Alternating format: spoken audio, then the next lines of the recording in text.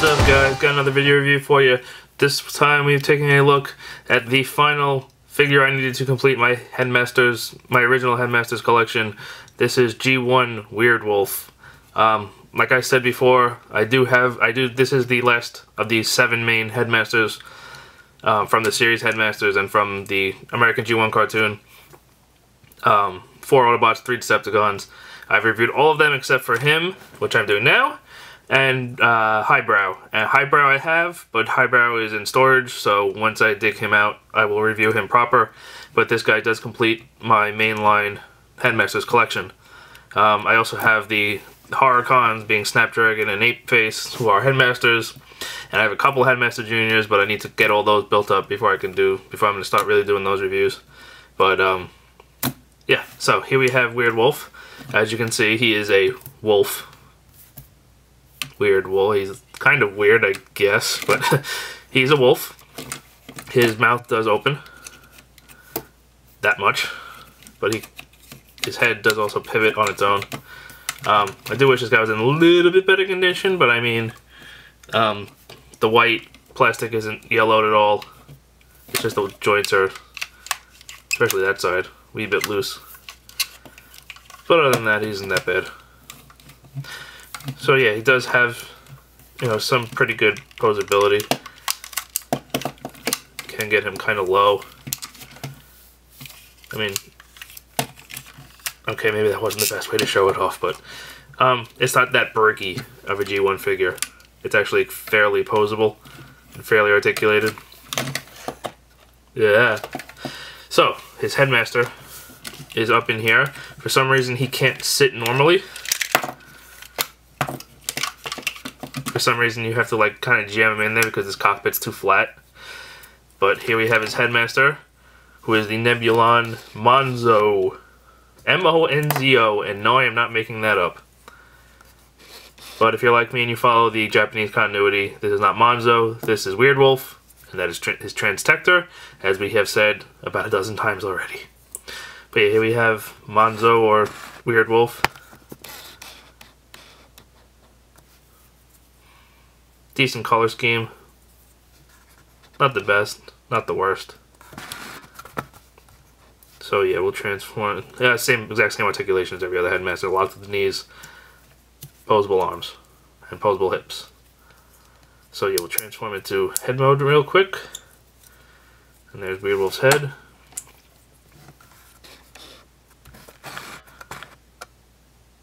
A Little bit chipped on the paint, not bad. Again, it's hard to find good G1 figures. So, let's transform this. Uh, also, the stickers on this guy aren't the greatest. I don't know what's going on with this. That does not look right. And there's another one on his crotch. And those stickers just look completely out of place. So, might repro label this guy. Because these stickers kind of stink. So yeah, transformation. Unplug the sword from his butt. Oh, the sword is actually articulated. And it's on a hinge, so you can actually move his tail. So yeah, we'll take the sword off. Now he looks like he has no tail. Ah, right. Um, flip this butt plate up out of the way. Straighten the legs. Flip up the beast legs to create the robot legs. Stand him up. Rotate scary joints. Oh, God. Rotate those arms and shoulders around, fold back the animal legs, exposing the robot fists. One second here. Flip back the wolf head. Again, it kind of makes a cluster, you know what, in the back. There we have him in his robot mode, in his transtector mode.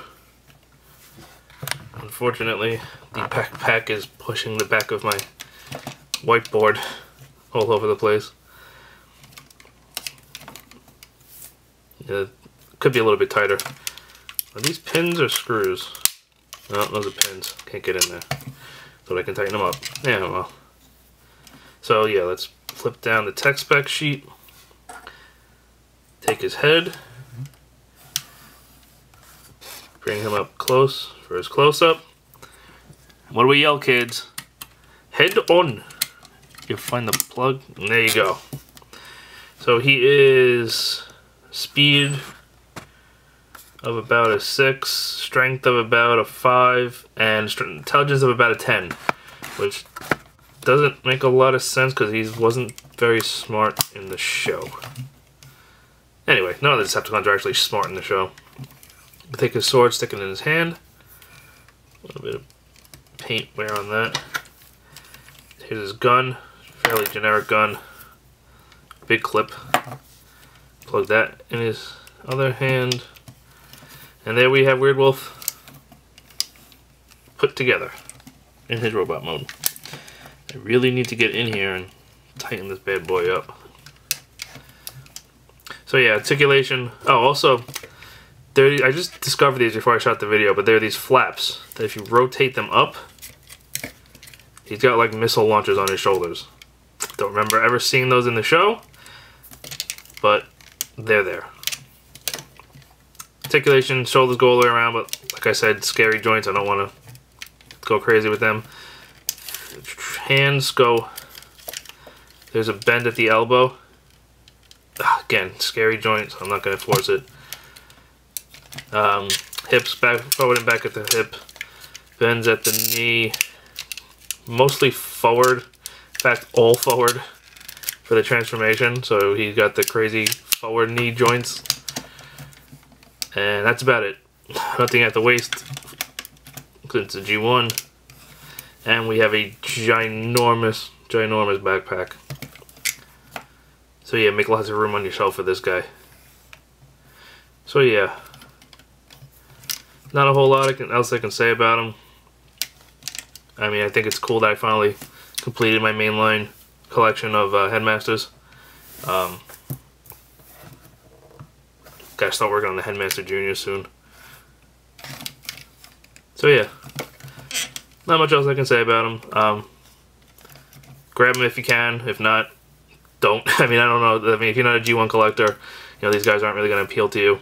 Um, we do have Quadruple U coming out, supposed to be coming out this month. Um, this, I am shooting this in the, at the end of April.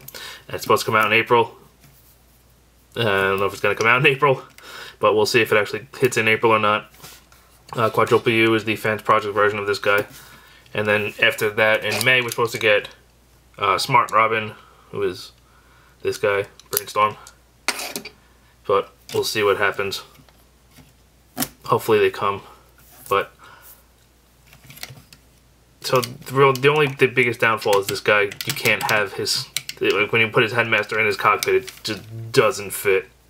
It's kind of crazy. But yeah, again, now I'm rambling. So this has been the video review for G1 Headmaster Weird Wolf.